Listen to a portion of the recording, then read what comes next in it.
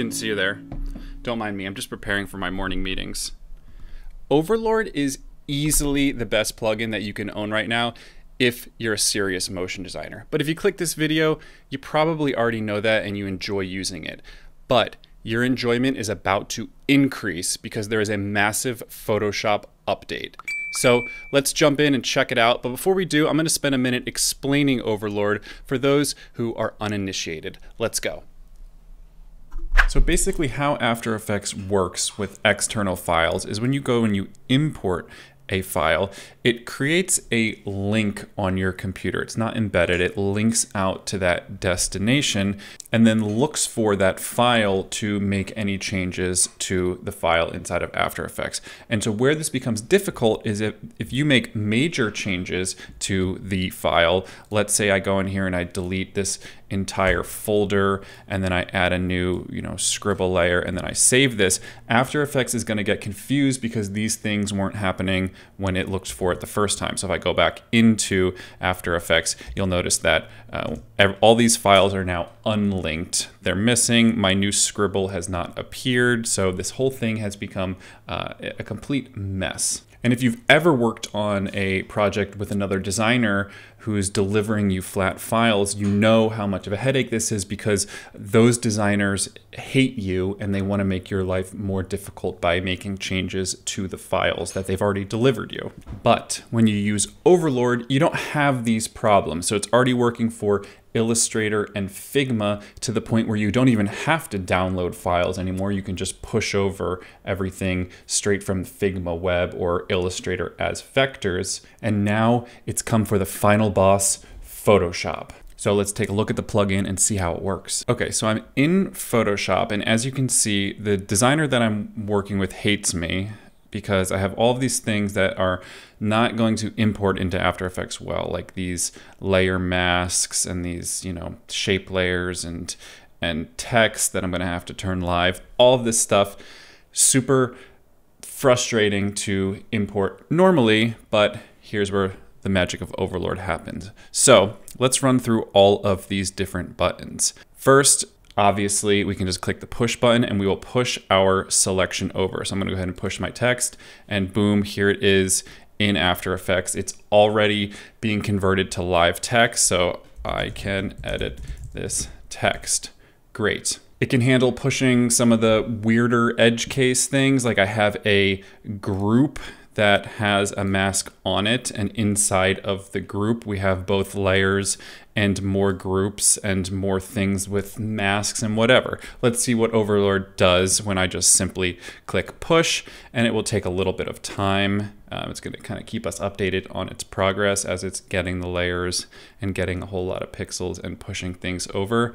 It's a good coffee break. Take your time, little guy, you can do it. Okay, boom. And we have some actions. So by default, it will push the groups over as a pre-comp, which is very convenient. And when I go into here, uh, any of my folders that are in Photoshop, the groups are going to be uh, pre-comps and layer masks come over um, working as intended as layer masks that are already matted with that pre-comp. I can keep going deeper if you don't believe me that this is working. And as you can see, everything is being pushed over as I would want it to be. Single layers are coming over as single layers. Uh, groups are coming over as multiple layers parented to a guide layer for easy control without kind of uh, rasterizing and condensing these layers. And any folders that have things like like masks to them are getting pushed over as pre comps with the relevant mask information inside of it. So back into Photoshop, really anything you want to push over is going to come over as you would expect it to. So in this case, I have a shape layer, and when I go to push this, it will come over as a shape layer. Pretty nice stuff. I'm going to delete this though. So let's take a look at some of the other options here. Rasterize selection. This is a super, super useful thing. And what this means is that it will essentially uh, if you're familiar in Photoshop, like merging a group, so I take a group and I'm going to do Command E that merges it all into one um, layer. That's essentially what rasterizing the selection will do. It's going to you know, you're a designer, you know what rasterizing means. And it's going to push it all over into one single layer. What's really nice about this though is that it, it won't destroy your file. Once it's done pushing it over, it's actually going to undo the rasterization. And we'll check this out. We're going to do this with group one here. You see this is a folder with a ton of contents inside of it. And when I rasterize and push it, it will get condensed into a single layer and shot over. Great, this is one layer, beautiful, just how I wanted it to import. And if I go back to Photoshop, it has not kept the rasterization, so I'm still flexible here to go back and edit. This is super, super clutch. have a couple more buttons here that we can go through together. So we can create a new AE comp from the frame. What this will do is it will create a brand new composition uh, using the same settings as your Photoshop comp, so the same height and width. I don't use this, maybe it'll be useful for you. And then inversely, we have the new artboard from AE comp where you can kind of go the other way and create a new artboard in your file based on the current settings that you have open in After Effects. I mean, you have to be really, really lazy if you're going to use this. Like you can just, it's pretty easy to make a new comp, but, but whatever, it's here if you want to use it. We also have this import Photoshop file button. It's nice to have, but the whole reason I'm using Overlord is to not do this, but I'll show you what it does. When you click it, it will actually go ahead and take the time to import the entire file over and link it and kind of the normal import process that you're used to in After Effects. It's going to go ahead and do that for you just from the Photoshop side. Okay, and here it is. Here is my uh, Overlord assets that you can see brought in, all the different layers. Here is the Photoshop file. And then finally, we have push guides, which is useful if you work with a lot of guides. You can just click this button and these ruler guides that I have in my file are gonna just get pushed over.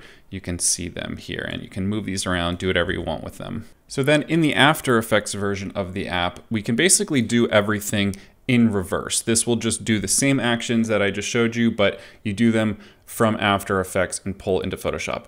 Functionally, it's the same thing. I think this part is built for Australians who you know, do everything upside down. They can just go ahead and pull things from After Effects. And then we have a couple more options here, pre-comp, decomp, toggle, and delete. So let's go ahead and take a look at what a couple of these things do. I have this image layer. So I'm predicting if I click pre-comp, yep, it's gonna turn this into a pre-comp, pretty handy. And then inversely, we can just go ahead and decomp that. And now it's no longer a comp and it gave me a little guide layer to control things. This is just in case you had a bunch of layers in here. It's gonna let you be able to control them easily. And then this toggle button just toggles the visibility of this guide layer on and off. You know, if you're too lazy to just go down here and do it, that's fine and then delete will delete all of these group layers. So if I go to an area where there's a bunch of them like this pre-comp in here and I click delete, you'll see it's gonna go ahead and clean that up for me and delete all of them. If you launch the Overlord app, you'll notice mine is blue and it's different than yours because I'm special and I get beta access. Sorry.